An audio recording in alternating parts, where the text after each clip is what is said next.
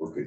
A very good morning, good afternoon uh, to all who has uh, connected uh, here uh, uh, today with us. Uh, excellencies, distinguished partners, it's a pleasure to be with you today and for you to join us as we welcome you to the launch of this white paper on safety and security in tourism.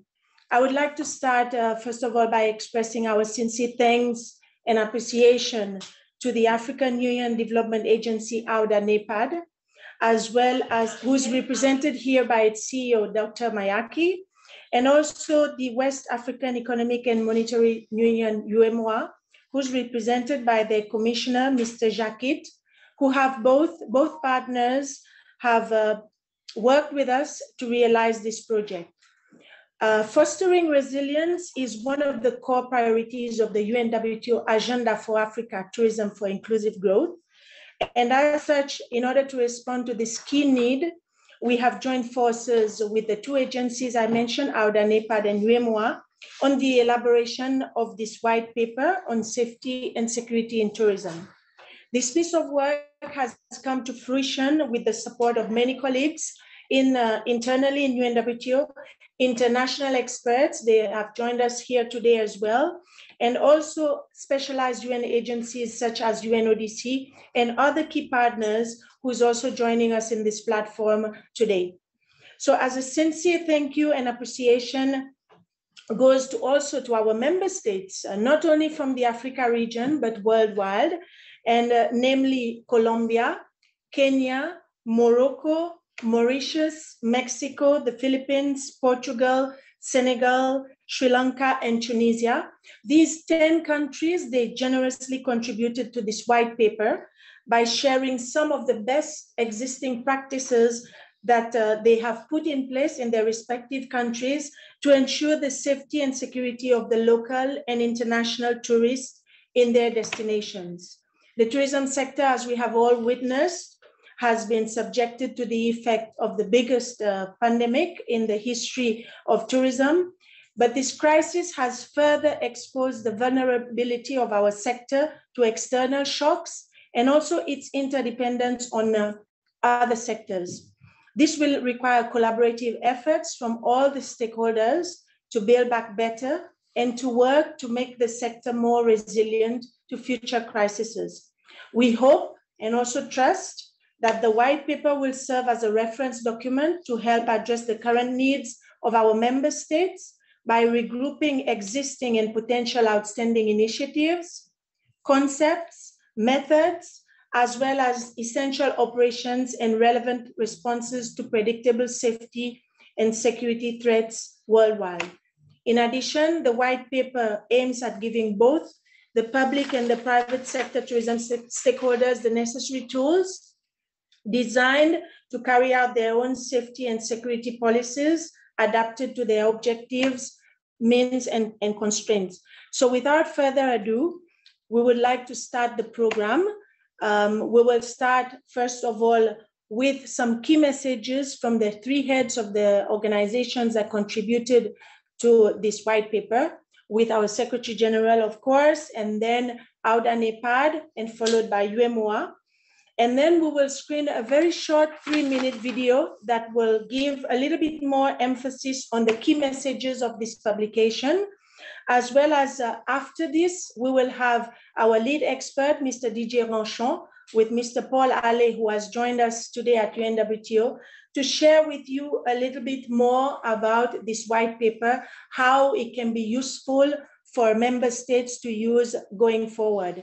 So without uh, any delay, I just also want to um, inform for those listening in that we do have interpretation. Sorry, I should have said this at the beginning in French and uh, English, uh, so you can follow the icon on your panel to change the, the language.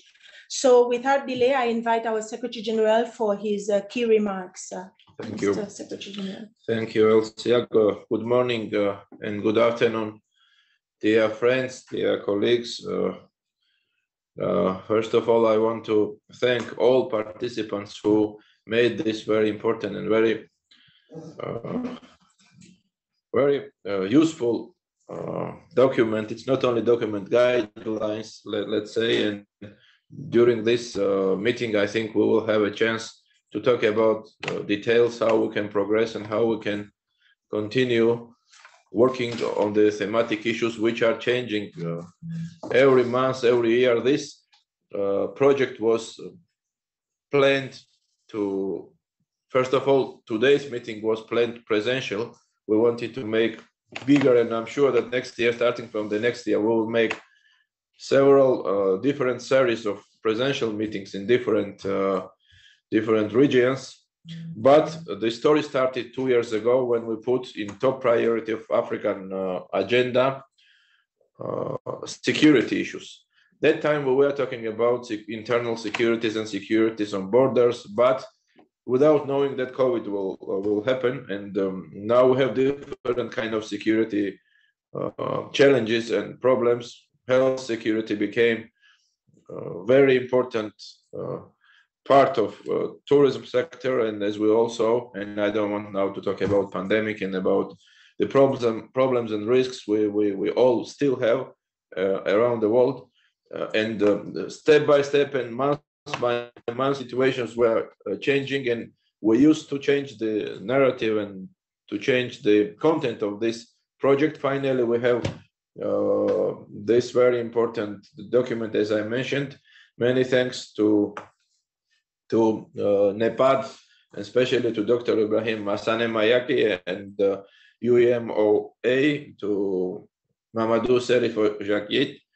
Uh, we meet virtually at the end of what has been another difficult year for tourism, but it has also been a year that has proven that only by working together we can overcome challenges and uh, embrace uh, opportunities. Uh, again, we started it from Africa, but I see many our uh, friends from different parts of the world, from Europe. Uh, Sergio, pues Dimitrios is there. I, I, don't see all of you. We have minister from Myanmar. Very special uh, greetings from Madrid, Excellency. and again, we see that this is not only for uh, created for for Africa. This is very useful guideline for everyone, and I really kind kindly want to ask and uh, encourage all countries and all member states to be part to share this uh, better good experiences, the crisis management together. I want to remind all of you that uh, uh, harmonized protocols, where we were starting from the very beginning uh, when pandemic started, is still a problem. We need to be united and to create, and which is very difficult. We were working during all years to make one standard and harmonized protocol for everyone, but it's impossible to make without. Uh, if we want to be uh, united, and we all of us, we will not participate in this process. European Union has its own green uh, pass, but it not useful for other countries and non-EU countries. So that's why we always encourage to everyone like European Union, also the rest of the world, to don't leave nobody behind uh, of this uh, this uh, process, because tourism it's not only for one, two, or three regions. I mean, and we still are working, and I, I really want to use this kind of communication and this kind of meetings to encourage all governments to create and to continue conversations to have one harmonized protocol to don't confuse the tourists uh, when we are traveling. When we are traveling, we don't know what kind of processes we have to pass, and traveling today became a headache for all of us. Uh, and at the end of the day, we have PCR, uh, we have ticket, masks, and we are there. But there are so many confusions and so many difficulties and barriers that I don't think that these difficulties are needed. So this is uh, also uh, the foundation for winning back trust, a vital uh, ingredient to grow back better. Restoring trust and confidence critical to restart tourism. Uh, we mentioned many times. Still, many millions of people and businesses are at the risk. This will require uh, concrete actions the white paper we mentioned uh, and we are presenting now uh, about on safety, security in tourism shows our commitment to working together to keep tourists safe. Uh, it also makes clear uh, that we are serious regarding our duty of care to keep tourism workers safe. Uh, we were talking with Mr. Didier. This is the first maybe uh, document uh, worldwide, uh, not only from UN organizations, talking about uh, security and uh, security and crisis. Crisis. I mean, for for me, I mentioned and we mentioned many times. These against protocols and standards are crisis management. If we can manage well crisis, it will be much easier. It, it will be very easy to travel tomorrow, I'm sure. Um, so uh, this white paper has two main objectives. The first one is to rebuild trust in the short term to get world moving again safely and uh, responsibly. This is very important for destinations where tourism is a lifeline and economic pillar.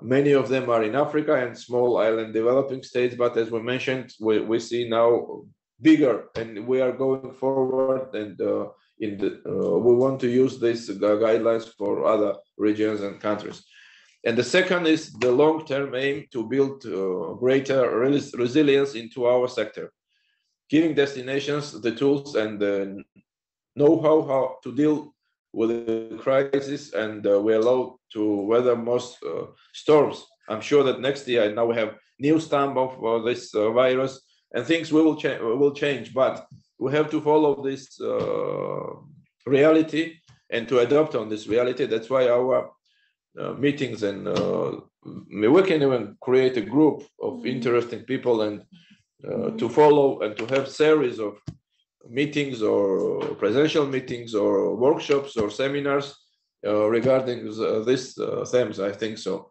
so we must ensure that tourism remains a lifeline even in the most challenging of circumstances. And uh, our uh, UNWTO is grateful, count on the partnership with African Union Development Agency. We did a lot of interesting and important projects last decade and last years with West African Economic and Monetary Union for this uh, important project. I also want to thank to experts who carried out and without them was impossible to make this uh, happen in these very hard times and uh, we are going to follow them and to continue this series of uh, meetings this has truly been an uh, international effort uh, bringing together countries from reg- regions across the world towards a common goal so i'm happy to see ministers and some representatives of the countries who contributed towards the publication from Africa, Asia, Europe, and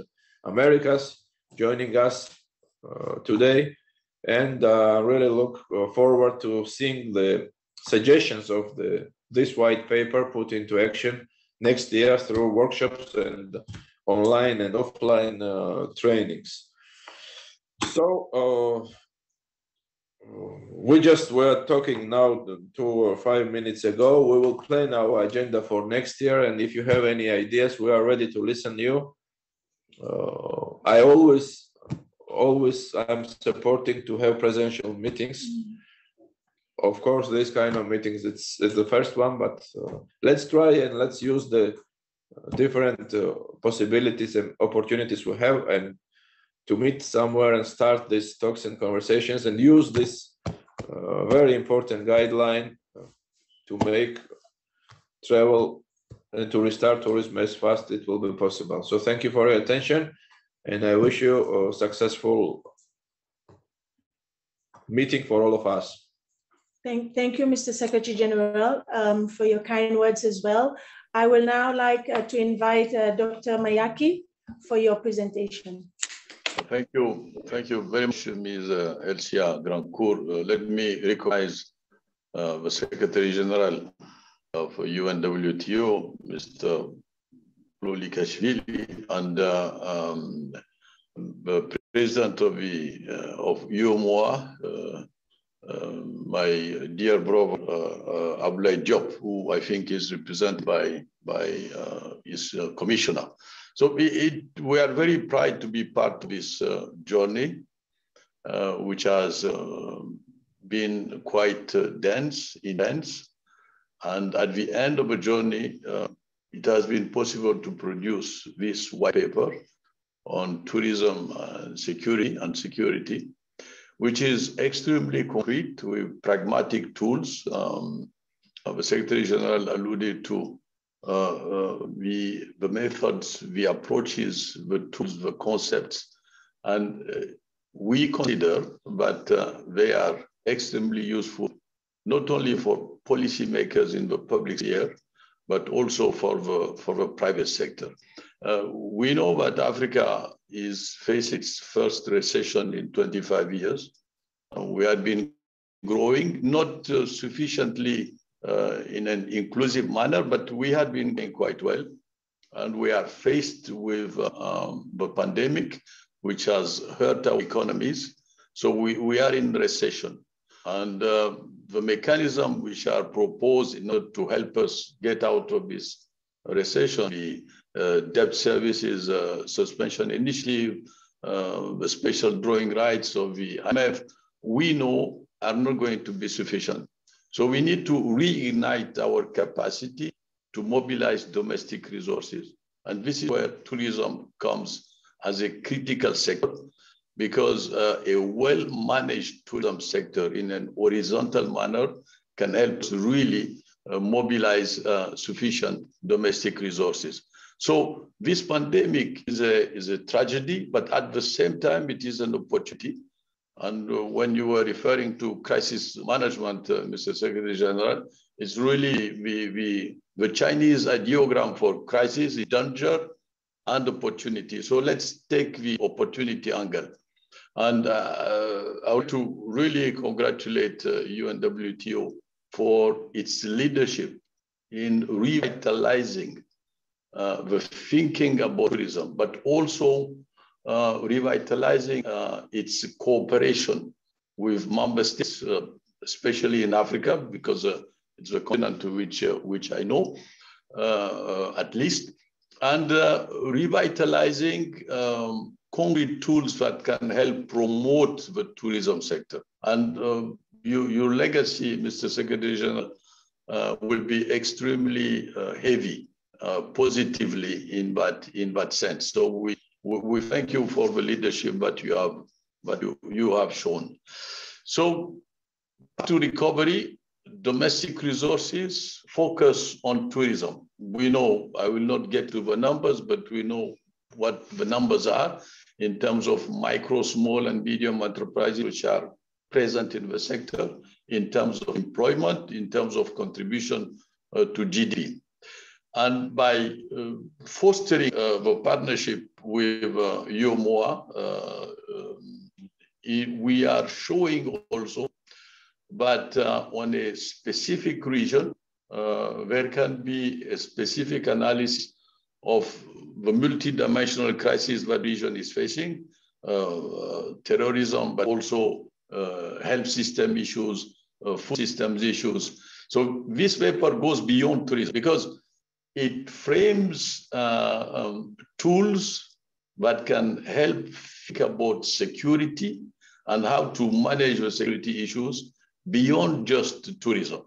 Uh, and I think uh, quite a good number of uh, uh, policy experts and uh, policy makers in other domains, from food system to health system, will inspire themselves of, of this paper finally, uh, this is a demonstration, this paper is a demonstration of an efficient, intelligent partnership.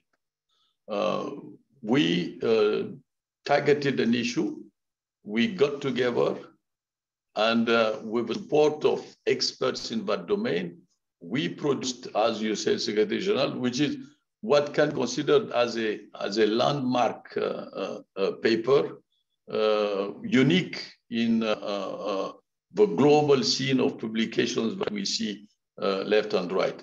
Unique in the sense that we will use it in order to disseminate the right approaches to the sound policies that need to be that need to be developed. So um, resilience on the one hand, uh, crisis management on the other, but in the core of uh, uh, this paper is a reflection on how partnership can help uh, solve obstacles and produce uh, useful tools. So I'm very happy uh, and very proud that the uh, African Union Development Agency has been part of this process. Uh, we will continue our partnerships with UNWTO, with UEMOA, and disseminate in the other regions of the continent all the uh, positive uh, instruments that have been done. And let me also thank the, uh, the experts who have worked very hard. very, I'm sure that their presentation will be extremely useful, and we are looking forward to the discussions that will be uh, that will be developed.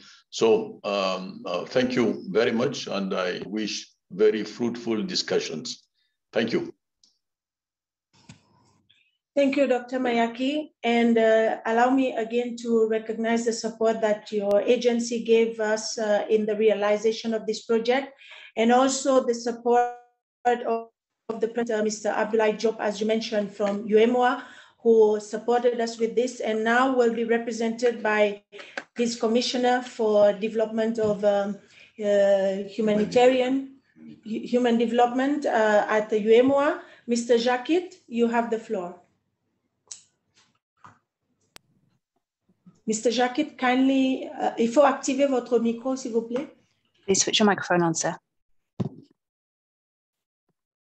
Merci. Thank you. Merci. Vous? Can you hear me? Oui. Yes, we can hear you. Merci. Thank you, madam. In the name of Mr. Abdullah, Abdoulaye Diop, who is unable to be present, I would like to represent the UEMOA Commission in this very important event. And I will now make my speech. Secretary General of the UNWTO, Monsieur le secrétaire exécutif de l'Agence de développement Chief Executive Officer of the AUDA, NEPAD, Excellencies, ladies and gentlemen from the diplomatic services, distinguished guests, ladies and gentlemen. First of all, I would like to convey the apologies from Mr. Abdoulaye Diop, the president of the UEMOA Commission. He is unable to attend today and has asked me to convey his congratulations to the Secretary General for his re-election at the head of the UNWTO. In addition, he greets the distinguished guests present in this ceremony. The UEMOA Commission is honored to be a partner in the publication of this white paper on safety and security in tourism, a key factor in development of a tourism industry.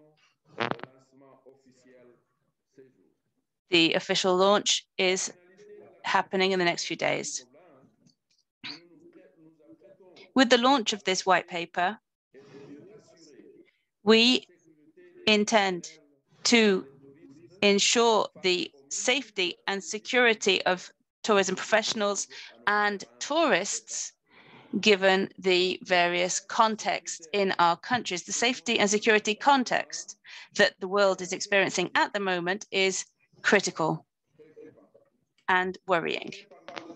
It is marked by terrorism and the health crisis caused by the COVID 19 pandemic. L'Afrique It is affecting all of us. Africa is not spared by these scourges that have illustrated the vulnerability of the tourism sector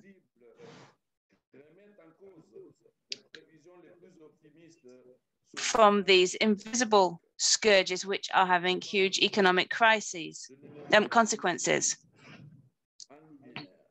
I would like to highlight Il est convenu d'appeler désormais le drame du Sahel. I would like to talk now about the crisis of the Sahel, as it is known.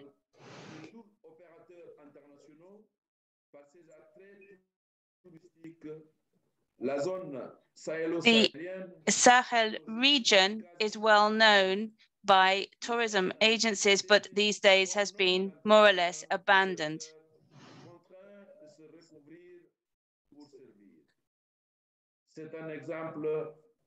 This is one of many examples, and given in light of these dramas, we cannot remain immobile. And that's why this white paper led by the UNWTO and available to anyone working in the tourism sector focusing on safety and security in tourism is something that we at the UEMOA Commission were glad to be part of. Mr. Secretary General of the UNWTO. Dear guests, ladies and gentlemen, there are no activities without risk. And it's our ability to anticipate and manage these risks that can help us to reduce the often disastrous consequences that they engender. The white paper, which is currently being launched, is a very pertinent response and a very timely response. And we need to keep in mind that the publication and dissemination of this white paper is just one step in the process. We need to go much further. It will be useful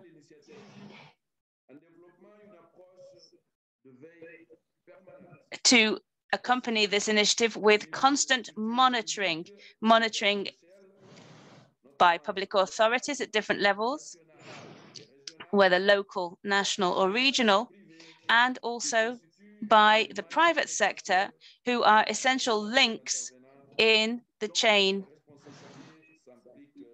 of all of those responsible for tourism, given the growing risks affecting our tourism activities. We have to organize platforms for discussion and dialogue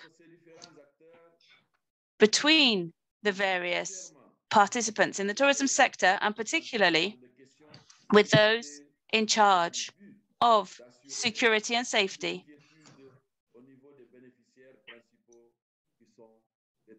in order to calm the fears of tourists.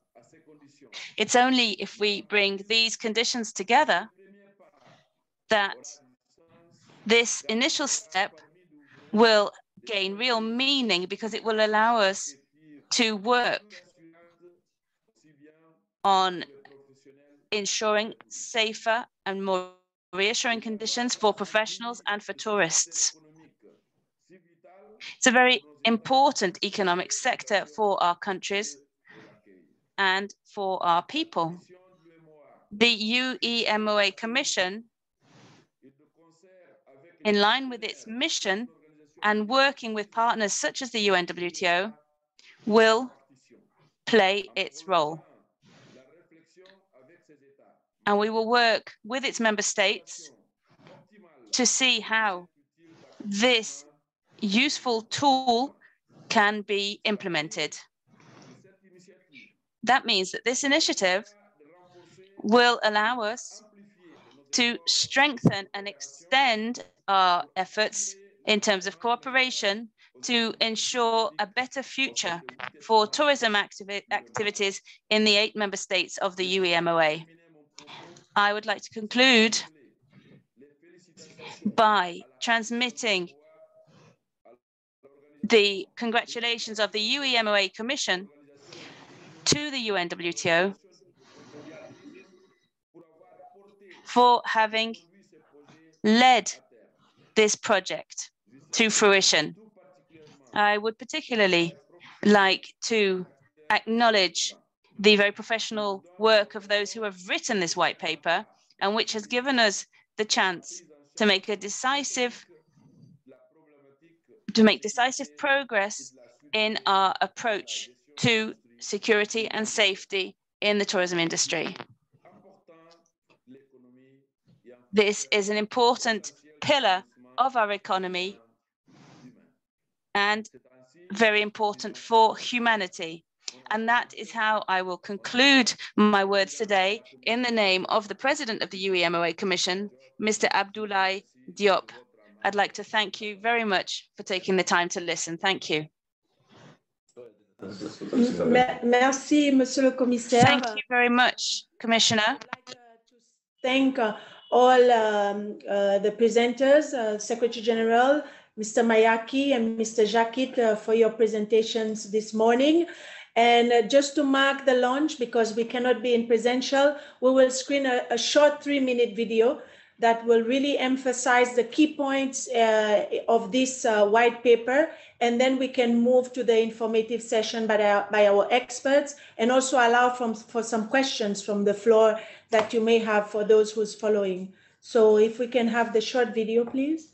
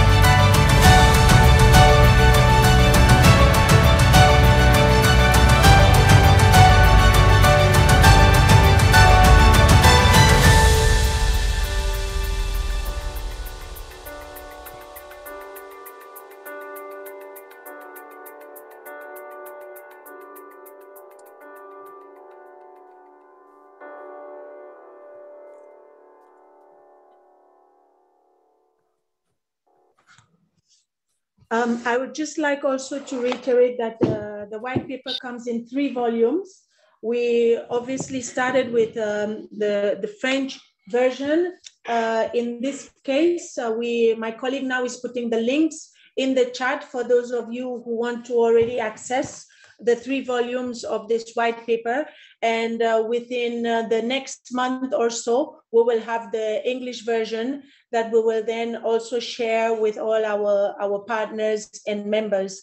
So mm, we've come again, as I mentioned, at the end of the first part of the session. So now I will invite uh, our two experts who join us here today, Mr. Didier Ronchon and Mr. Paul Allais, who will uh, walk through what are the, the key uh, messages uh, and uh, the use of this white paper going forward to all the members.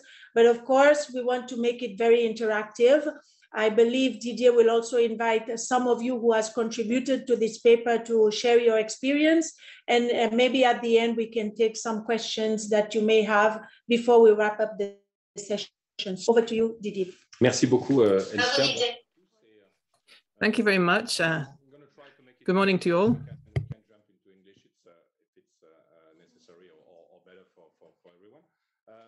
The point is, uh, and maybe it's going to be helpful for everyone. Je pense que ça peut être très utile pour tout le monde de, de rentrer dans le détail de, de ce travail.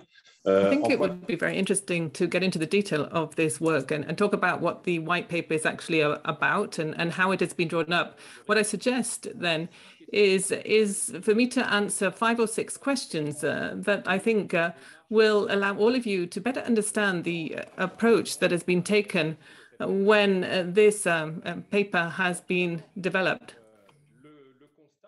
First of all, why? what, what has been acknowledged here? What has been recognized? Why has UNWTO wanted, decided to take on this initiative? Why did it decide to create this white paper? The, the first point there is that three organizations uh, have uh, acknowledged uh, this, uh, as well as uh, member states and professional organizations, because they all realized that there was a huge challenge that has to be faced uh, because of the pandemic and also because of a number of different crises uh, that the tourism sector has had to uh, deal with recently. So because of that, understanding that acknowledgement, there was also a need to professionalize the response.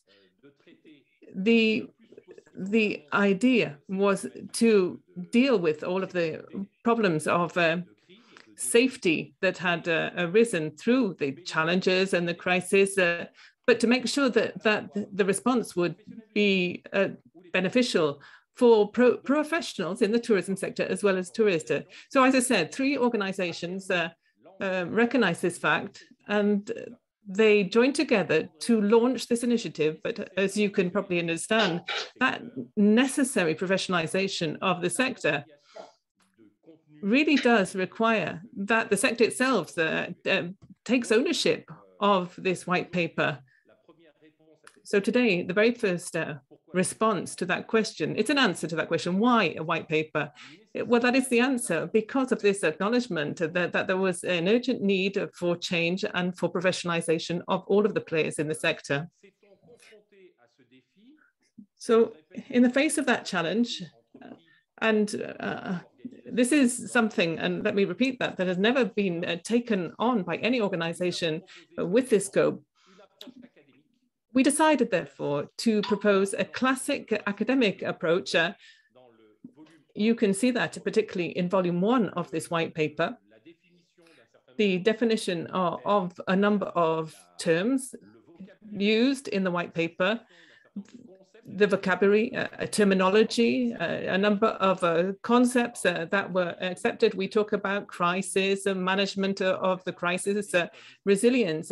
Uh, this academic approach is, of course, necessary for any ambitious project like this. You first and foremost have to establish the terminology and the concepts to be used. We, we then supplemented that uh, academic approach uh, with experience uh, in the field. You probably have seen oh, that that, uh, that experience is the content of the volume two, those experiences were part of the know-how that exists in the field, good practices too. Uh, this came out of discussions uh, uh, and meetings and perhaps a, a larger uh, discussion that uh, came from different geographies in the world with regard to the challenges, the threats, and the risks uh, that the sector is facing. So that experience in the field is extremely important because for the very first time, there was a sharing of these experiences, a very willing sharing of it with the organizations that, that might perhaps need to come up with a response. You will find in uh, the, the second uh, volume, uh, this compilation, this uh, compiling rather of uh, solutions that have been put together. And UNWTO here is, is making a, a contribution here. It's, its capabilities there uh, to work with, to accompany, to support the different member states and the professionals in the implementation of their responsibilities and their tasks. So volume two of the white paper, once again, is uh, a volume that uh, all of the stakeholders have taken ownership of. Uh, it, it contains technical data sheets, sheets these fact sheets and initiatives. It's, it's a very um, user-friendly approach, I believe. you'll find it very useful as a guidebook, a manual compiling those good practices. And we do believe that different partners and member states will be able to use this and it will also provide food for thought for everyone. It will uh, trigger that food for thought. And that takes me to my third point, the third question. I was just explaining how we had put together the white paper. And once again, as we move to the volume three, it was something that was done by rallying all of the, the players, the crises, uh, the risks uh, and the challenges uh, have all uh, been out there for a long time. Tourism sector professionals and practitioners have had to deal with a number of different challenges for a while. And we called on a number of member states, and of course, I would be very happy to, to give the floor to a number of them present this morning. Uh, they, they were asked to give us their experience and to, to tell us uh, that experience so that we could um, use it uh, as input for our white paper. I, I, don't know who exactly is connected today. Sergio Guerreiro, I believe, from Portugal for instance, we could give give them the the floor straight away. We could start off with Portugal and then Tunisia. Perhaps it, we could get you to just give us a couple of comments and tell us quickly uh, what you thought about this initiative and this approach and to what extent Portugal has made a contribution to this white paper. How have you participated? Sergio, you have the floor. Uh, thank you, Didier, for, for giving me the the the floor. Uh, actually, I have to move to, to move to a, another meeting in a, in a few minutes. Uh, well, first of all, I would like to to congratulate uh, UNWTO and, and the partners for for working on on on this uh, on on this project. I think it's very very important initiative, very timely initiative. I think uh, this is a very important topic in in in everyone's agenda, and especially for policymakers. And uh, uh, safety has been always part of our strategies as as destinations, but now with COVID nineteen, I think we took we, we took this to to to another level. As, as, as I was saying, safety is, is a key element for, for destination attractiveness. It's, it's something that typically we don't promote in uh, in the in the in the first row of our initiatives of promotion of, of destinations, but it's definitely a very important area of work uh, for for policymakers. Require, from our point of view, uh, uh a whole of government approach, a straight cooperation between uh, several ministries, putting tourism at the core of of of, of their uh, of their priorities, and I think that's very, very important. Um, I, am actually I was very happy to to have participated within this uh, within this uh, this this report and also also learning from from it. Um, from from our side, we've basically highlighted three main contributions on on this. The first one was was the the clean the clean and safe um, initiative that we we've launched throughout the the, the COVID nineteen um, pandemic and basically we were the first ones to jump in and to create a safe and, and safe label to assure safety to the, the, the, tourists that visit Portugal as a destination, but at the same time uh, to uh, to protect the tourism workforce that delivers an excellent service within our destination. So making sure that everyone was available. We did this uh, closely connected with the Ministry of Health, though having uh, rules and criteria for each one of the segments of the industry uh, with, with specific training for the employees and at the same time with an online platform giving tourists the possibility of informing them, themselves where they, could, they, could they get uh, clean and safe uh, establishments and services and at the same time giving them the possibility of giving feedback on the on the level of security that um, that was delivered.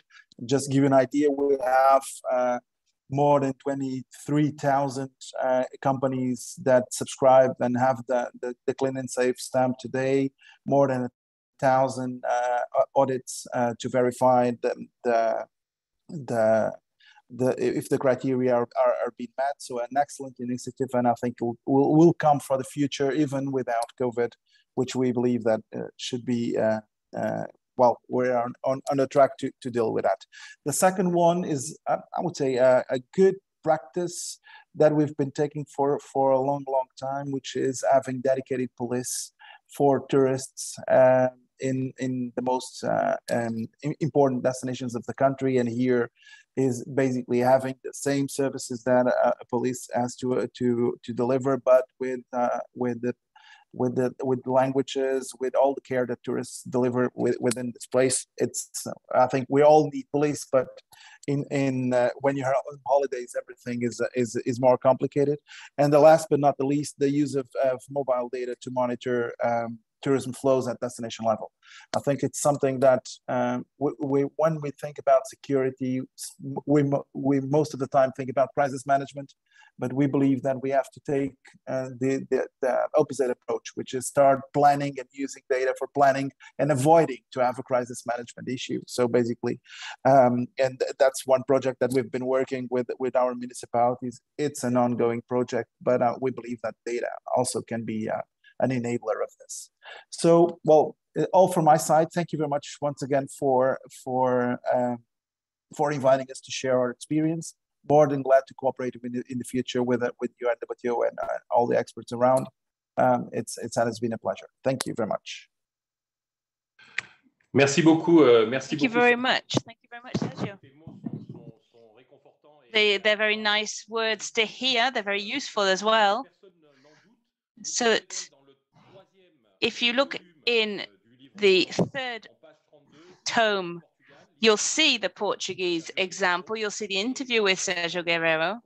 And I'm convinced that this will really be very useful for many partners to use the experience of Portugal and the way that they've approached management of the pandemic using the data from tourists and travelers. And it's an example, once again, which could be replicated elsewhere.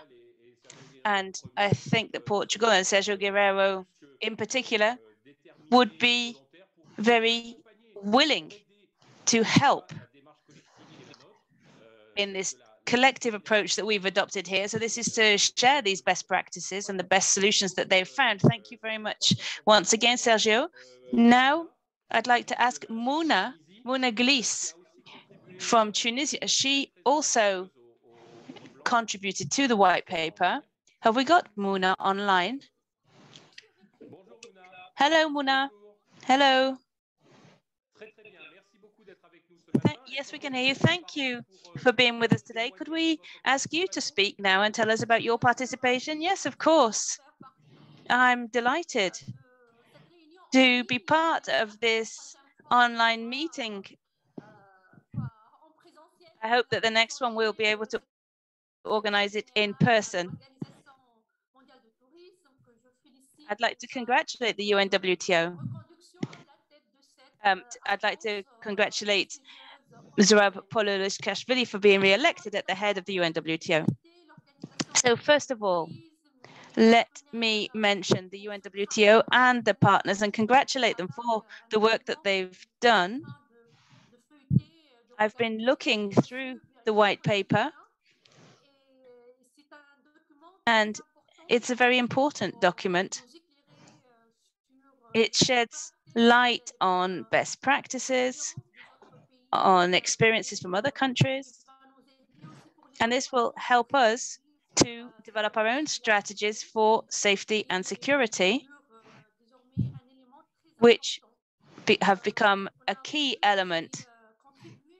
And we also provided our experience and this concept of self-security. So this is to encourage players in the tourism sector to play an active role in the security situation and to work in partnership with the police, with private security firms, to, uh, to show vigilance and to adopt best practices. This is an action that has been led by colleagues within the tourism ministry and they're in charge of this program in collaboration with the minister. I'm afraid they weren't able to join us for the meeting today, but they wanted us to send their greetings. In addition, the Tunisian government has drawn up a list of criteria related to this idea of auto security and tourism professionals have to respect these rules in order to be accredited. So if a tourism company wishes to receive tourist, um, tourists, then they are required to respect a number of criteria. These criteria relate to security and safety. And these criteria are monitored by experts from the National Tourism Office. And the implementation of these standards has been accompanied by an awareness raising campaign and training organized by the Ministry of Tourism for professionals in tourism in Tunisia. And the Tunisia's National Tourism Office, working with the Ministry of the Interior, helps to manage crises and is on alert 24 hours a day in order to help the tourism sector. That's part another part of our contribution. And so you can read about Tunisia uh, we're number 10 in the list of case studies in volume three. Thank you. Thank you very much, Muna. That's a very useful contribution. Once again, to really demonstrate the practical operational side of the um, white paper, if you look at page 42 of the third volume, you'll see the interview with Muna and Karim Belhoussine. They were extremely enriching and we wanted to share those with you. And I truly believe that the big UNWTO community will be delighted to answer questions, work with Muna, and share these best practices. Zineb, should I speak to somebody from Morocco or Senegal and ask them to take part? Mr. Rassan El Shirik, if you're with us, would you please be willing to say, to talk to us briefly about your participation in the uh, white paper? Your, your interview is uh, on page 20 of volume three. Hello, everybody. And thank you very much for the invitation. Can you hear me? Yes, we can.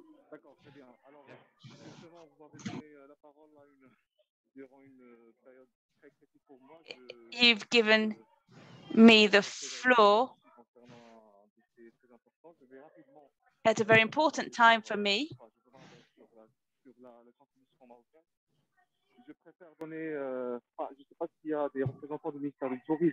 I'm not sure if there's mm, representatives of the Ministry of Tourism that are in the meeting as well.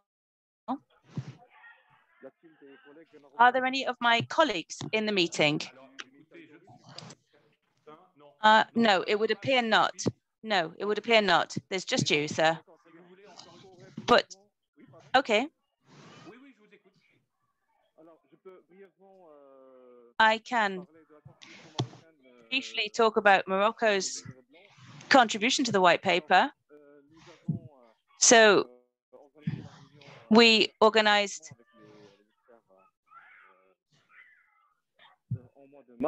a meeting with the ministry in March, and we talked about the security situation at the regional and national level, uh, particularly focused on the pandemic and its consequences on travel.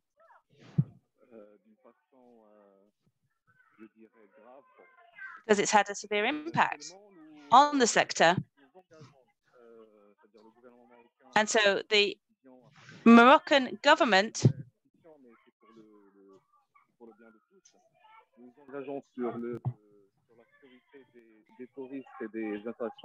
has focused on the safety and security of tourists in Morocco. We've also recently adopted a new law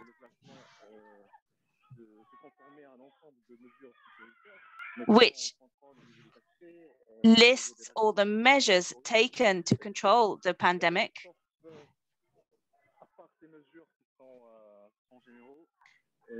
Now, these are quite general measures, but then there's also measures affecting tourists in historic areas.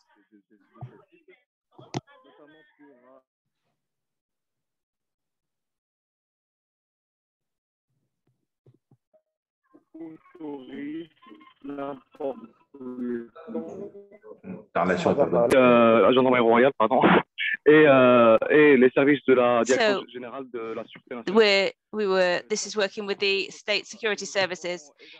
We have.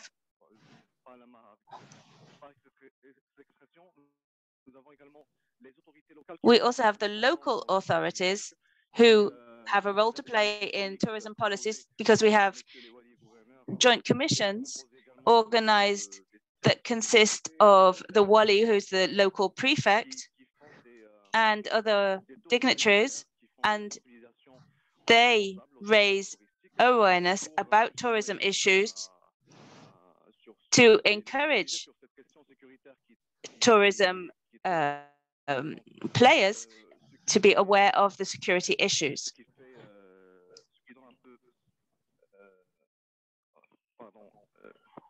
Ce qui euh, I'm finding uh, it difficult to express the idea that I want to express. This helps to contribute to safety for tourists in Morocco. Now, I am also going to ask my colleagues to come and join the meeting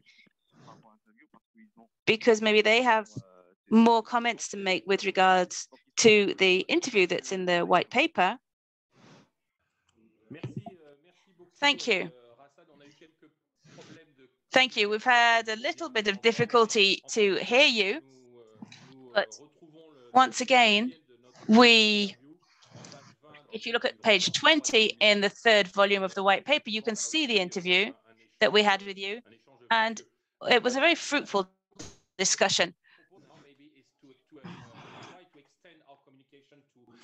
Asia, uh, not to forget Africa, but just to to enlarge our our scope of of uh, witness. And and I would like maybe to to ask to Dr. Prasad Jayasuriya from Sri Lanka to, uh, to say a word. Uh, we have been uh, very, very honored to uh, have a, a, a, short interview with him about the tracking of the tourists that Sri Lanka put in place Uh, during the, the, the, pandemic. And I, I am sure that uh, it can be very interesting to, to, to, to share uh, some words with, with Dr. Prasad.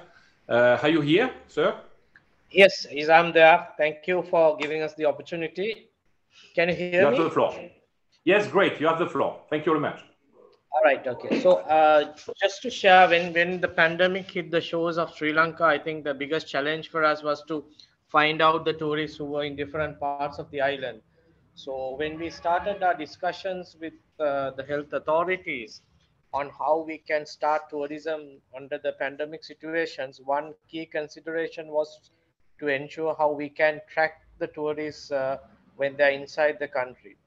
Because health authorities were absolutely uh, serious about uh, holding the tourism organization, Sri Lanka Tourism, holding responsibility of every international traveler who is arriving in the country. So with that intention, we during the pandemic in the first few weeks of the lock, initial lockdown we worked with all the relevant organizations under the guidance of health ministry as well as representatives of the world health organization uh, to understand what are the things that we need to implement when we are trying to uh, continue tourism under the pandemic conditions. So in that as i said one key requirement was to ensure that we have clear details of every traveler inside the country. So what we uh, did was like as some of uh, our friends shared earlier, we also developed a very comprehensive guidelines covering every aspect of a tourist, covering his entire journey within the country, right from the arrival at the airport until he departs from the airport. But on top of that, uh, we also introduce a very uh, uh, strict audit process and we appointed internationally reputed uh, audit firms KPMG and EY to conduct independent audits for us based on the guidelines that we have put in place for tourists and we introduced what we call the bio bubble concept. I think it's one of the uh, key initiatives taken by sri lanka tourism. Where i think it's the first in the region itself where we allow the tourists even before vaccination started to come into the country. Of course spend uh, the first 14 days within the bio bubble in certified level 1 hotels and we gave them the entire freedom to use all facilities within the hotel as well as to move within the level 1 certified hotels where we said it's more the tourist was actually moving within the bubble and within that bubble we allowed them to visit certain certified, safe and secure certified uh, tourist attractions. So the entire tourist movement was tracked and also we introduced a certificate for all these certified service providers with a unique QR code. So anybody, whether it's a tourist or whether anybody who is visiting the facility can easily scan that QR code and get all the details of the service provider. And in case if they are not satisfied in any of the practices that the certified service provider is practicing in reality, they can quickly scan the QR code and report it back to the regulatory body, which is Sri Lanka Tourism, with uh, photo evidence or with the written uh, complaint, where we had an entirely dedicated team who would quickly attend to the any reported violations. And if it is true, we were very uh, actively taking action against the relevant service provider in order to ensure that it's not only a simple certification process, but a certification which gives warranty and guarantee to the visitor that it's actually safe for them to visit the country and stay within the bubble. And when they were within the bubble, uh, we were able to track the movement and identify the movement. And as a part of that, we also introduced uh, a very uh, comprehensive local insurance cover for COVID-19 because what we realized was not every traveler has a, of course, they may come with a health insurance, but every health insurance does not cover the COVID conditions. So for just 12 US dollars, we gave every traveler a 50,000 US dollar coverage so that in case, in the worst case scenario, if somebody is tested positive when he's on tour, uh, the person, there was no need for him to worry with the insurance, mandatory insurance cover, which costs only $12 the relevant hotel and Sri Lanka tourism will take care of uh, his health and give them the best care under the best hospitals in the country so that uh, even if somebody has to face the worst case scenario of testing positive, still uh, he was uh, taken care of. So I think we had only about 0.5% uh, tested positive during the entire period up to now but everybody was taken care of under best health conditions so that uh, we not only had a certification process in place, we had actually uh, systems in place to ensure that that is actually practiced to the highest level. So I think that was a very interesting learning for all of us. And uh, we are still practicing that, of course, with some of the guidelines relaxed by now with the vaccination process in place where we actually see about 90% of our arrivals are fully vaccinated guests. And also as a country, we have uh, more than 75% uh, population already fully vaccinated. So with that, health authorities have relaxed most of the guidelines.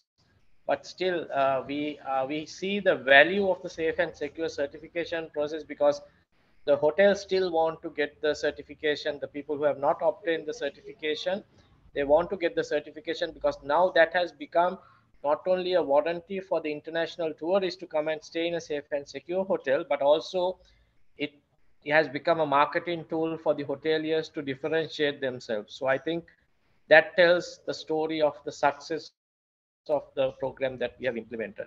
Thank you.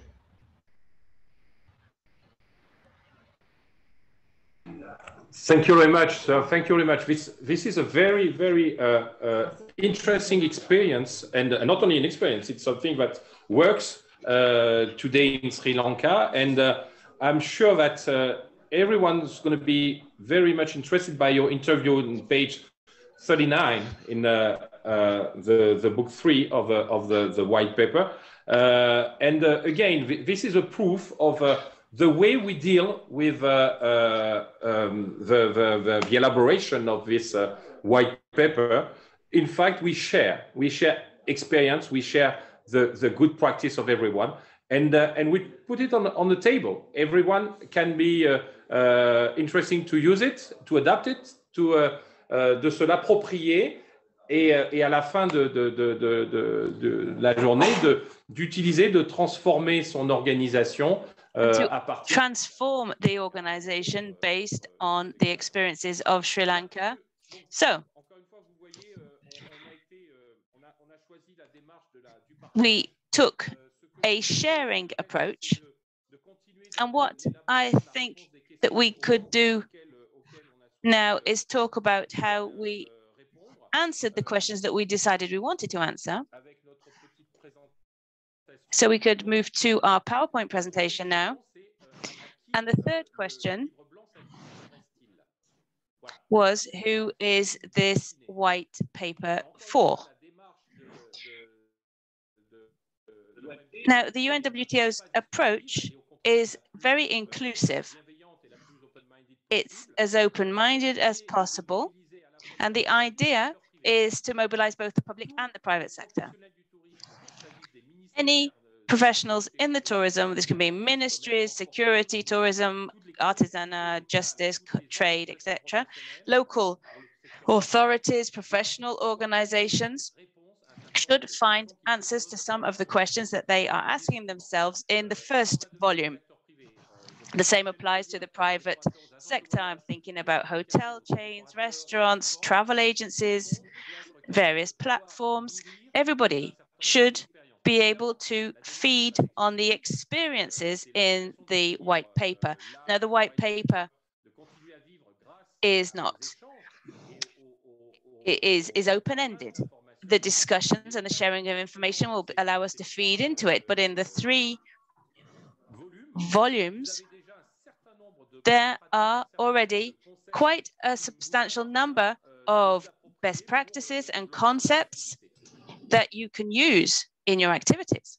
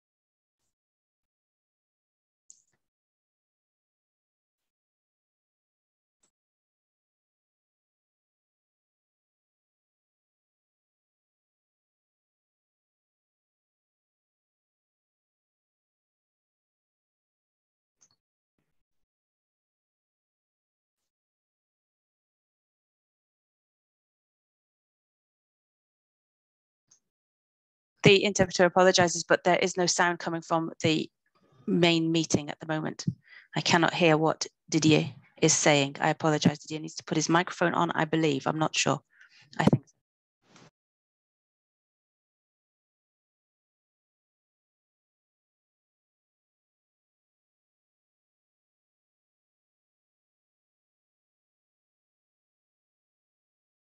We will resume interpreting when the sound resumes. I apologize for the inconvenience. Here we go. So this is an approach that is encouraging professionalization of tourism professionals. And this leads me to my fifth point, which is how can we use this white paper?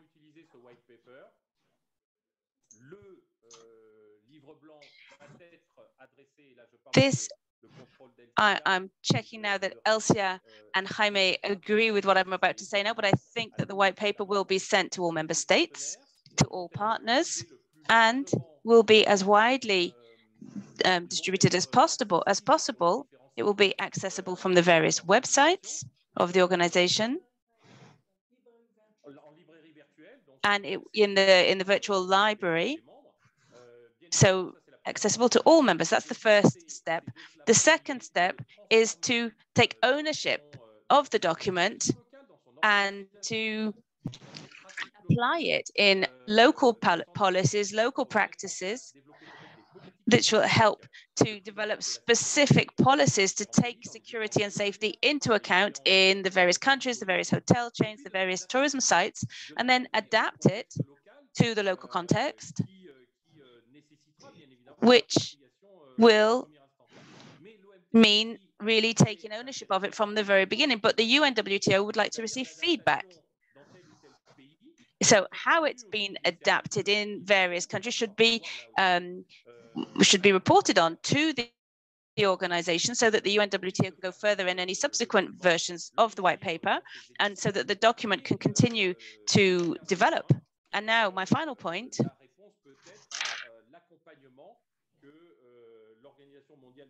support that the UNWTO is planning to put in place.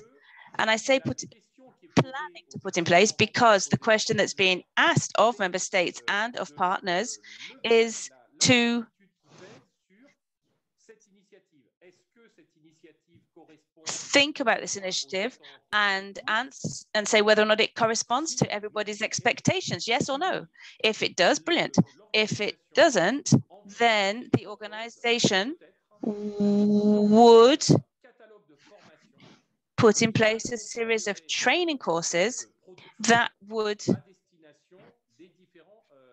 be made available to the various members and partners to help them put in place the policies in the white paper. We've had experience with online training and they've been a great success with many people signing up um, many partners who wanted to take part in these training courses with my friend Louis Bernard and the team at Chrysotech within the UNWTO, we have been able to develop these training courses and offer them to everybody over the internet in French and in English.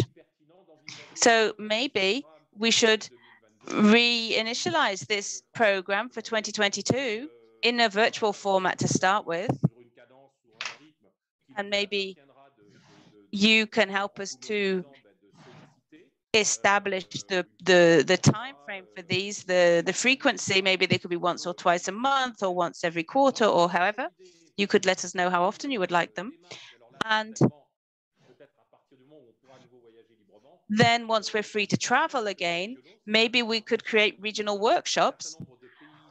And if a certain number of countries and member states are interested in hosting regional workshops, workshops based on the model of what we've done in the past in Senegal, for example, for professionals,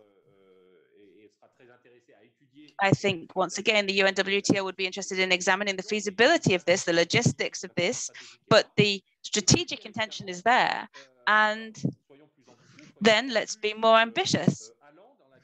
Let's be, let's, let's really take this to its, to its limits. I was talking about this with the Secretary General earlier. I think that as we raise awareness and we develop this new security and safety policy, which now has to really be taken ownership of by the partners, then maybe we could present this work eh, before other bodies, such as the European Commission or the foreign ministries or tourism ministries of um, some of the countries or professional organizations, big hotel chains. Maybe hotel training schools. So anyone who expresses an interest in working with us on the dissemination of this white paper, then we would look on this very uh, intently and going beyond the um, regional Department for Africa, which is behind this initial um, effort, maybe in other regions and in other bodies, we could continue to spread the word and maybe even create some sort of a label or a certification which um, would um, emphasize these efforts that are being made. And I don't want to take any more of your time. I think there may be questions from the room or online. And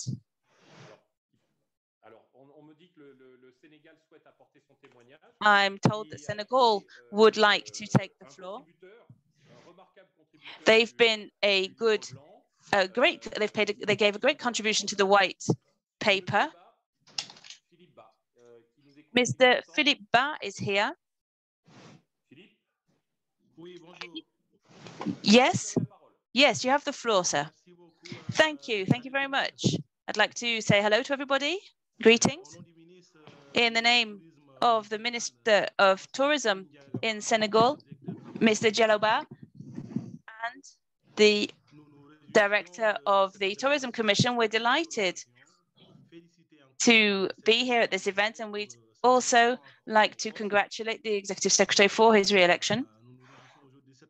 And we're delighted that this event has been organized. And we hope that this pandemic will soon subside and allow us to meet in person because it would be very useful for us to actually meet in person. I understand that the UNWTO is planning to organize regional workshops in, in due course, and we think it's an excellent idea here in Senegal. We need to we need to work hand in hand to promote tourism as a whole so that companies and society can appropriate tourism. Tourism is essential for the economic development of our countries, and that's why Senegal, like other countries, congratulates the UNWTO and also wishes to see the pandemic subside as quickly as possible. This is what I wanted to say on behalf of the ministry from Senegal and the directors. We work uh, hand in hand with the UNWTO and we congratulate you for your efforts and the enthusiasm of the team in order to promote tourism. Thank you very much.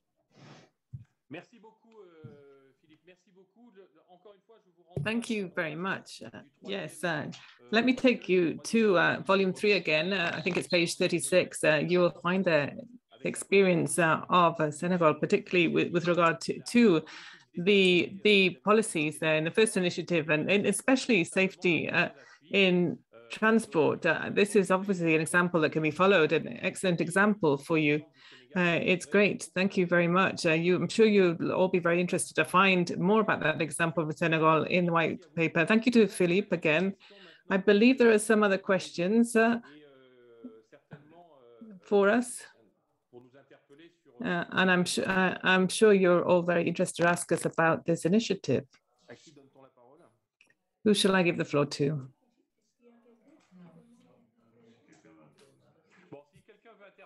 Would anyone like to take the floor? This is your time. This is your moment. Uh, I, I, believe we still have uh, uh, a few minutes, five to 10 minutes left. Uh, if you would like to uh, say something, yes.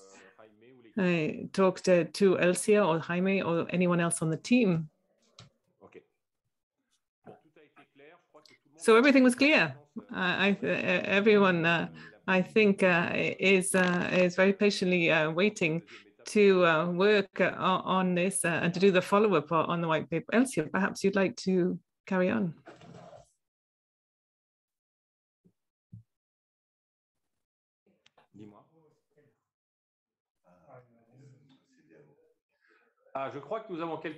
Yes, I, I, I, I'm being told uh, that someone from ECOWAS would like to take the floor. Is it uh, Madame Drapeau? Yes, yes, good morning. Yes, you can uh, go ahead. Yes, we can hear you.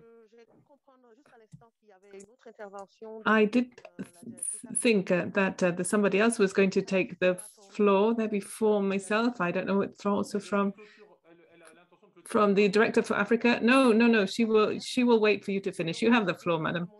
Thank you very much. I also would, on behalf of ECOWAS's commission, like to congratulate uh, the Secretary General for his re-election to uh, the office. Uh, it's uh, extremely important for our industry and for all of us in all the regions in the world.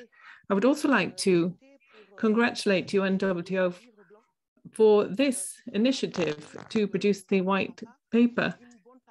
I, I do believe that it is a, a good uh, launchpad. I believe that half of our members, uh, at least in ECOWAS, uh, have been facing uh, safety and security problems for a number of years in tourism. And I, I believe that uh, there is a holistic approach that is taken here, but I particularly wanted to focus on the second part of the, of the white paper. And I, what I did appreciate was the very detailed in content I, I see that you have fully taken into account every single angle and facet of the uh, safety and security crisis that we are facing. So uh, my congratulations to the team, uh, wealth of experience there, it's all very detailed. And then I would also say that uh, we get uh, a great uh, overview of the threats and risks for the tourism sector with regard to safety and security. This has a particular impact on the African destinations. And if I, I think particularly because those African destinations that have been uh, the target of terrorist attacks, when you read the, the, the list of threats we are facing, then I think we have to be careful uh, about looking at the severity of the case, but it seems that there is this stigma there, but uh, we have to uh, understand that there are just a couple uh, of attacks in our region. So I understand that that it's an it's an excellent overview, but there are some countries that are, are facing a higher level of security uh, and risk there, and there's a lot of work that has to be done with regard to our policies to be able to get through this crisis. This is an initiative that will allow African destination, particularly West African destination, to reposition themselves today uh, to uh, be able to face uh, the current circumstances. And then uh, I'm speaking to you uh, uh, as someone who has responsibility for programs. That I someone said earlier, I believe, that there is also follow-up phase of in the for this white paper what will come next we here in ecowas are very very keen to work with your with your teams uh, uh, that will work uh, with the white paper to put together that um, manual of procedures, perhaps that's the title you will give it, or some sort of guide, guidelines for us uh, to be able to uh, take uh, urgent measures to deal with this crisis. I understand that there should also be a strategic perspective to it because very often all of everything in the in the tourism system, eh, um, all of the professionals involved, the, the practitioners working there are perhaps not necessarily working on the post-crisis phase. Quite often, as I said, we're not looking at it from a, a short-term, medium or long-term perspective or strategy. And, and it's, it, it's quite it's a pity there because we also have to deal with the, the safety and security events themselves. Just for instance, uh, a, a, a, a bomb attack, for instance, that, that happens. We know, uh, of course, that, that, that we should we should have uh, the practitioners involved in the tourism sector but only in that particular uh, area of the destination. But the, the stakeholders should also be able to carry on with activities. I, I, I understand that here the UNWTO can act there as a, a sort of spokesperson for us because the tourism dimension, I believe, should be a dimension that should be appreciated much more. Uh, uh, it, ha it has much more importance strategically. So let me end by congratulating and commending all everyone who has uh, made a contribution to this white paper. I would imagine that it's been uh, uh hard to be able to get to all of these uh, ex experiences and get the uh, the input from people who have gone through crisis. So we do understand that uh, even though some of us are involved in strategic development at a regional level of tourism, I would say that it's important to also look at those destinations uh, that are on borders. Accessibility sometimes can be extremely difficult uh, there. So I would commend you or those of you who have given us uh, those uh, um, uh, experiences, first-hand experiences from the field, I think a white paper like this, this will somehow debunk uh, the, the, the, the myths about safety and security uh, in our sector and really uh, get to grips with the problems and put us in a position to be able to act. Uh, there, there is still something that can be done. Uh, thank, thank you very much. Uh, I really do commend the work that you've done. And our Commission ECOWAS will, of course, work together with UNWTO if there are some uh, workshops uh, when we're dealing with the post-crisis effect. Uh, we stand ready to help you develop further strategy to have more continuity as you move forward with the white paper. Thank you very much. Yes, uh, we actually are the ones who should thank you, uh, Madame Dravo, uh, uh, for your for your very clear comments there, for being so uh, frank with us. Yes, you, you have uh, mentioned a lot of cases and you've given us, of course, uh, your thanks. But above all, I think you have been able to identify the philosophy uh, underpinning this work you, you are absolutely right. Uh, we are debunking the myth uh, of the safety and security problem. Uh, that is part of the work we're doing. That is a dimension that we have uh, looked at, that is our standpoint that we have taken. We want to explain to all of the tourism sector practitioners uh, that uh, safety or security problems do, do not actually mean uh, the, the death of tourism activities. There will be opportunities from crisis as well.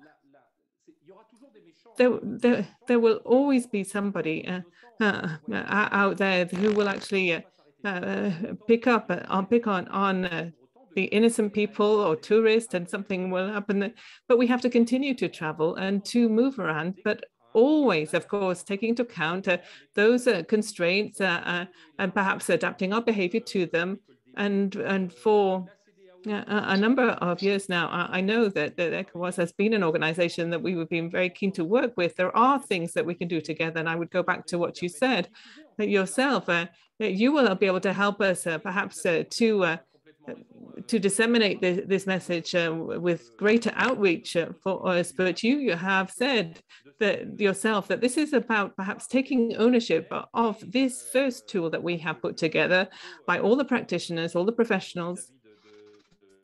And uh, with, with, regard to UNWTO and the, the regional uh, department, uh, we are stand ready to hear from you um, your proposals uh, to get uh, closer to you uh, in the field there to be able to propose some specific solutions to you or proposals. There are solutions to crises, the crisis we're facing today. We've been working on them. We could, we could we have this, this, this crisis unit. We can help you to train the practitioners. We can help you to uh, to work with the, the different uh, um, factors uh, that, that, you have to deal with when, when a disaster happens. A disaster will always happen sometime, and we will always have crises. I think I think we can't uh, sit back just uh, thinking that things like that won't happen. They will happen, and we have to stand ready. You have to get prepared. You have to share experiences. That you have to rally people uh, with their uh, input for you. Uh, it's not about eradicating completely, eliminating the threats, but it's be able to. It's about thinking about the consequences of those dreadful events events and the terrible events and how they will affect us and to deal with them. Thank you so much for your input. Yes, uh, uh, uh, yes, please go ahead. Très bien, je, je, je vous remercie. Thank you. Thank you. I just wanted to say something else in two points. The first one is that when we adopt this approach to really analyze security issues, we realize that even for us, it's an opportunity for us to reposition ourselves and to develop our tourism differently. I'm talking in terms of the tourism offer now, and also the structure of services that go with it, which has to change. And to do that, I can tell you that it's a, it's a titanic effort that is required. Uh, we're slightly, somewhat overwhelmed by this. We don't really know where to start because we're being attacked from both sides. We have an attack, we're being attacked by the pandemic, and we also have security attacks. But we know that we have to make tourism survive. So we need to absolutely reinvent tourism and it maybe gives us a chance to completely have an overhaul here and think about a completely different approach to tourism. And my second point was to make a suggestion. I think that during 2022, we should organize a meeting between the ECO between ECOWAS and the UNWTO. And we could talk with Madame Grandcourt, the regional director for Africa, and we could discuss um, an agenda, but I would like this to be done in the first quarter of 2022 so that we can really get started on this as quickly as possible. So this would be a joint meeting between ECOWAS and um, the UNWTO and see how we really could identify activities that, that are possible from the white paper. So not just crisis management, but also looking at actions identified in the ECOWAS action plan for tourism, which is our Eco Tour um, during these, um, 2019, which is has been guiding tourism in the ECOWAS countries since it was adopted in 2018. So maybe after this meeting, we could talk uh, bilaterally and try and find a date. Excellent. Thank you very much, Madame Drabo. I think that you are right that in the first quarter of 2022 is going to be a busy period and we need to get organized. Um, there's plenty of things to discuss and we're very interested in your proposal. I think that Elcia will be in touch with you very quickly about it. Thank you once again, Madame. I think Mr. Dayak from Niger would also like to take the floor. Maybe we could hear your experience, Mr. Dayak from Niger. Yes, hello. Hello. Hello, everybody. Can you hear me? Yes, yes, we can hear you very well. Well, first of all, thank you for this very enriching encounter. I apologize. I was called by my management, so I was not able to listen to all of the discussions, but I wanted to congratulate and commend this initiative. It's very welcome in the current situation in the Sahel and West Africa. We're very we're very well aware of these issues. And I just wanted to comment um, but I'm looking forward to receiving these documents in order to look at them in detail. But I just wanted to comment on some of the things that I've heard, notably raised by Madame Rabault. And I would like to ask her if we could organize this meeting in Niamey with the UNWTO and ECOWAS. We would be delighted to host this event. And as you know, we are severely affected by the security problems. And I just wanted to say what is important, particularly at the UNWTO, which is a global institution. Maybe there needs to be some lobbying with ECOWAS so that we stop seeing this uh, security issue as a major problem, but as an opportunity. This is a form of insurrection that we are reading, uh, we are experiencing. And if we look at the context, these it's affecting zones that were extremely touristic. But in the last 15 years, it's been impossible for tourists to access these areas.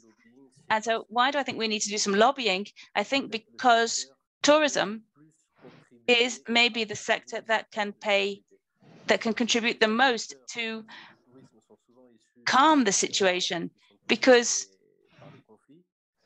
it's the people in the regions who are affected by the terrorism and income from tourism goes directly to these regions. And this could help to stabilize these areas. So that's what I wanted to say. I, am not, whether it's the UNWTO or the regional bodies, I think there is a message to broadcast. As Stella said earlier, we must not overlook our region when we're finding solutions to attenuate the security situation and help to stabilize these regions that have been somewhat abandoned and which are experiencing a crisis.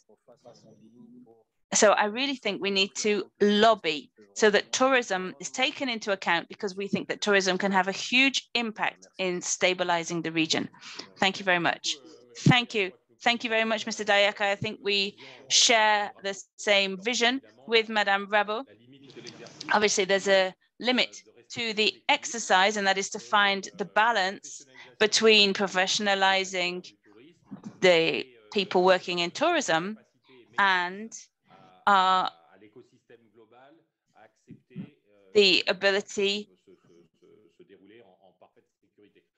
to ensure that these activities take place in total security. And finding that balance is part of our work. It's almost a scientific approach that needs to be taken, a very professional approach, which will allow us to find this balance. So thank you very much for what you've just said. Thank you for inviting us to Niamey to present the um, white paper and the work done by the UNWTO.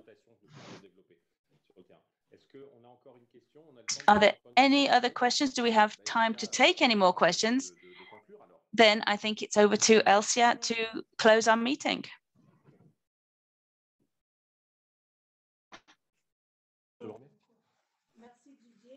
Thank you, Didier. And please allow me to thank the last two speakers, Madame Drabo and Mr. Dayak. As UNWTO, we will follow up on your comments because it's very important for us to continue this work. If you allow me now, I will continue in English, but uh, I just wanted to to say with the launch of this uh, white paper, I think uh, we've already opened the door, open the floor in uh, into the work that uh, you yourself, the member states, you have tasked us with uh, since the, the, the strategic uh, proposal of this uh, agenda that was launched now already two years in the process we we have uh, reduced a little bit uh, the activities that we have been doing because of the current situation we are in. But as Didier mentioned, we have been able throughout at least last year to have conducted a, a series of uh, different workshops virtually, which uh, the member states partic participated very actively. And this has also encouraged us to continue to look at ways to try to bring this to you in the coming year uh, in presential. And uh, again, here I open um, the, the floor to, to welcome any countries, any organization who's uh, willing to further strengthen this work with us that we've started with the UEMOA and uh, NEPAD.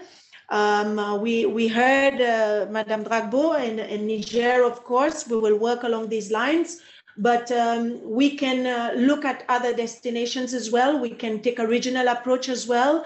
So um, we are really open and we really want to bring as much as possible uh, more and different stakeholders to help us to, to really continue uh, with this work that we've started with Didier and his team.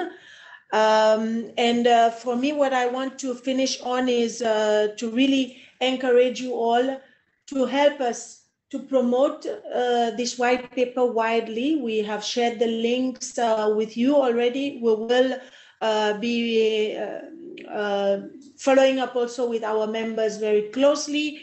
Um, and of course, for us, this is very important because we not only involve the Africa region, but we span it across the world because there are a lot of uh, um, experiences that can be shared, and we've witnessed this this morning.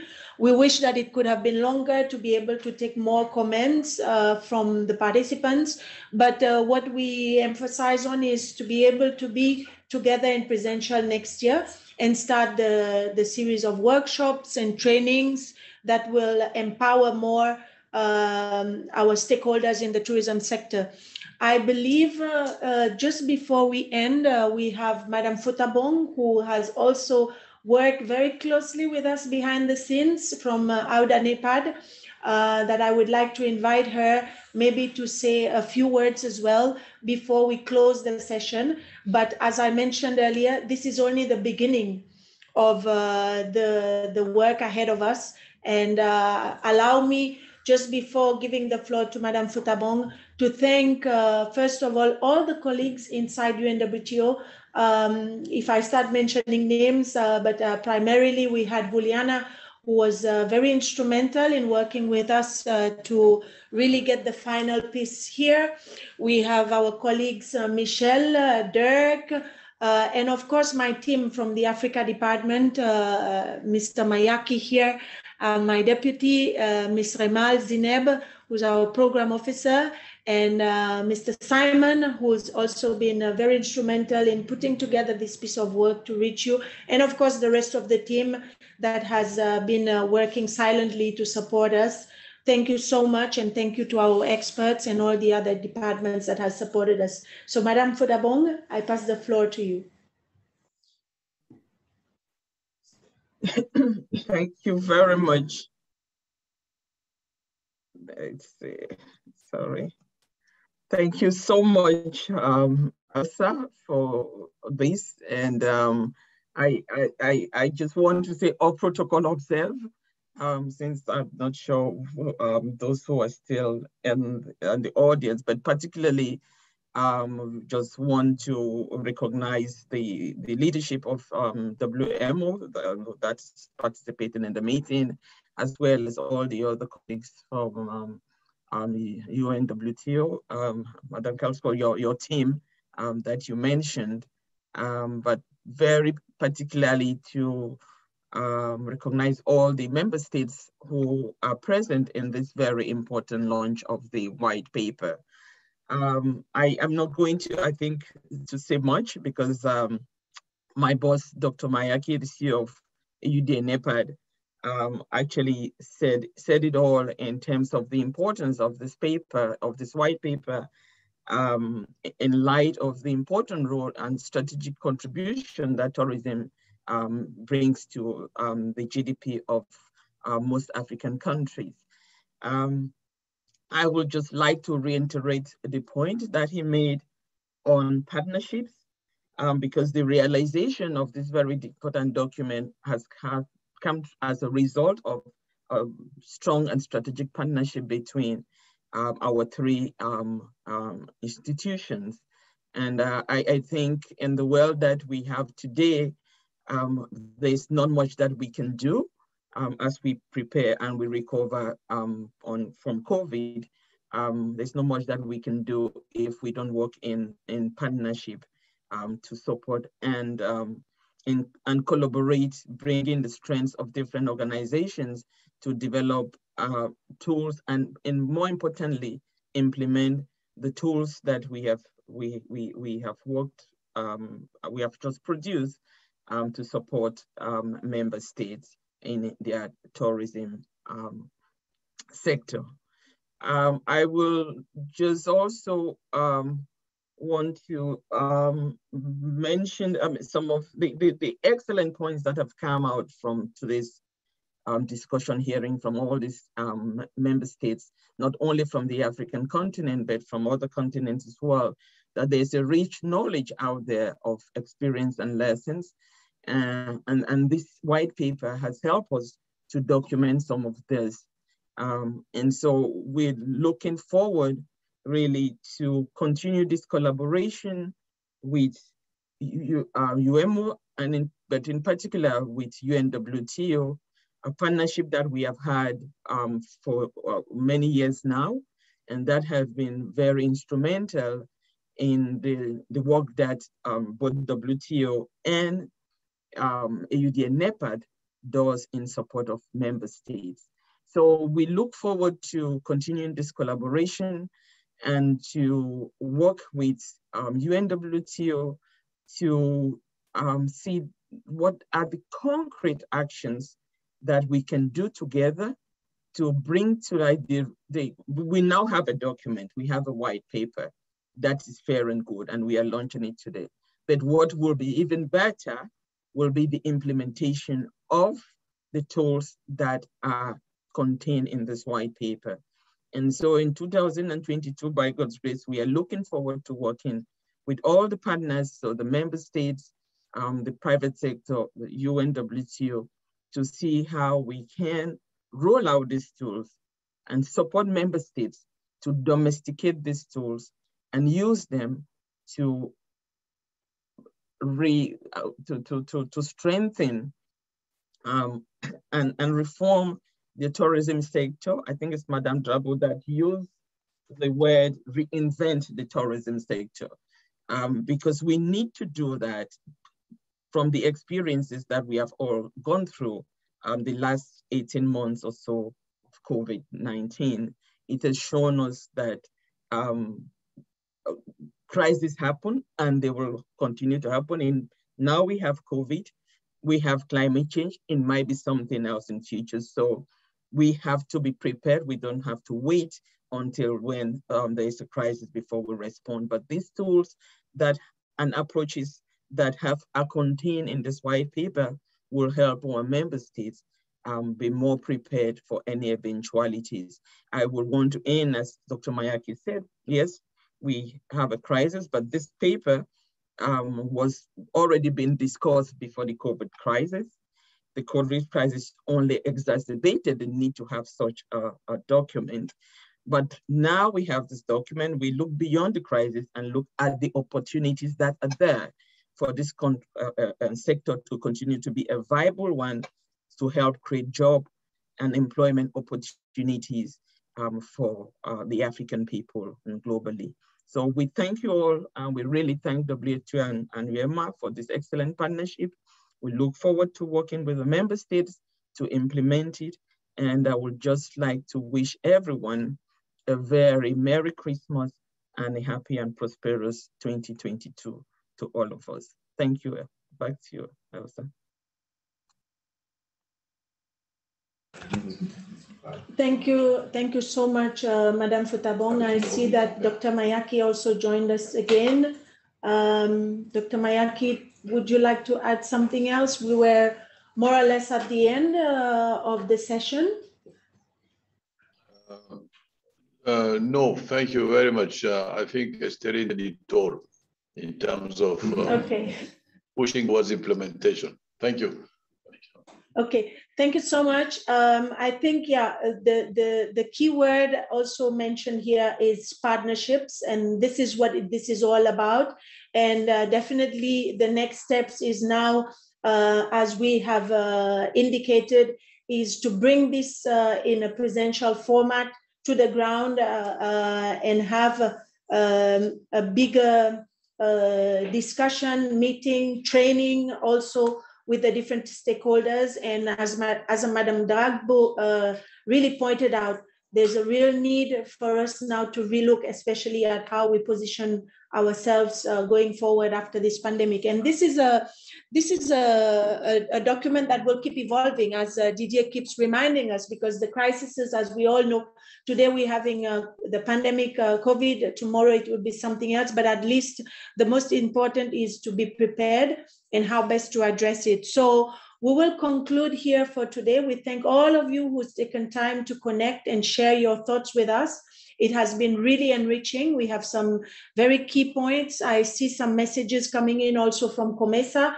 Um, we will definitely be in touch with all of you to share widely this white paper and the next steps as well. And don't hesitate to also feel free to write to us uh, and also visit our website so that we can uh, answer any other concerns that you may have. Um, I think the team indicated to me that we wanted to have a group photo. So if we all put our cameras on, we can have a, a nice picture of this group who attended this session today. Um, and we will uh, take this opportunity to wish you all a, a very uh, nice end of year festive season as well. So Simon, we are ready?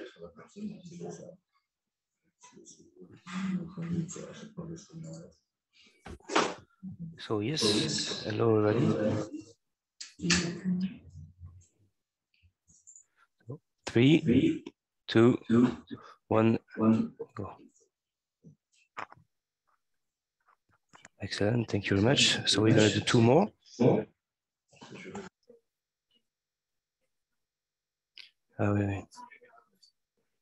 Okay. Yes, one moment. So three, two, one, go. And one more, please. okay. Great. Two seconds.